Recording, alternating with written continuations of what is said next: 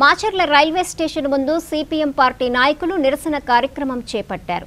ఈ సందర్భంగా CPM party నాయకులు మాట్లాడుతూ మాచర్ల భీమవరం వరకు నడుపుతున్న డెమో రైల్లో వసతులు సక్రమంగా లేకపోవడంతో ప్రయాణికులు ఇబ్బందులు ఎదుర్కోవాల్సి వస్తుందన్నారు.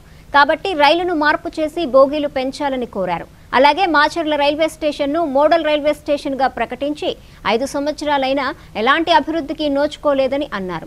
ఈ కార్యక్రమంలో బండ్ల మహేష్ ఎన్ లక్ష్మయ్య వై సురేష్ వెంకట్రత్నం మురళీకృష్ణ వెంకట్రావు రమణ దుర్గా మరియమ్మ తదితరులు పాల్గొన్నారు.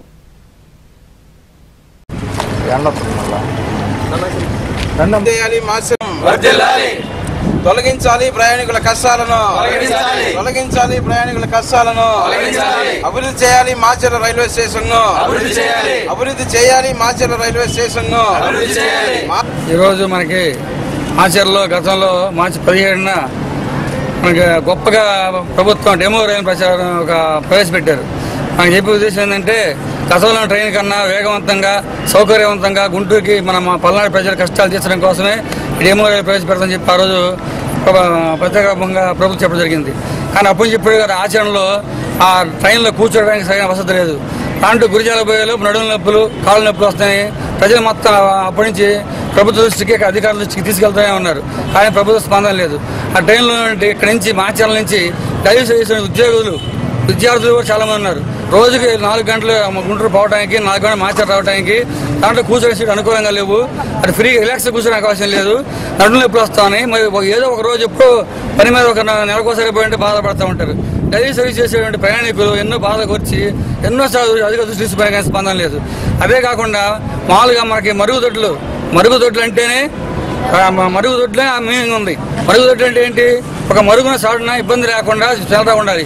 కానీ ఈ డెమోట్ మరుగుదొడ్లు భోగి మధ్యలో ప్రయాణికుల మధ్యలో మరుగుదొడ్లు ఉన్నాయి. మరి ఎక్కడ లేటెస్ట్ టెక్నాలజీ మాకు అర్థం కావట్లేదు.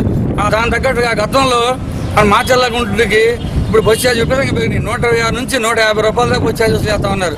అంత ఛార్జీలు భరాయించలేక పేదలు మధ్య ప్రజలు ఈ ట్రైన్ ఆశిస్తున్నారు. సహజంగానే ట్రైన్కి అందుముతున్న ట్రైన్లో సరిపోయే సీట్లు.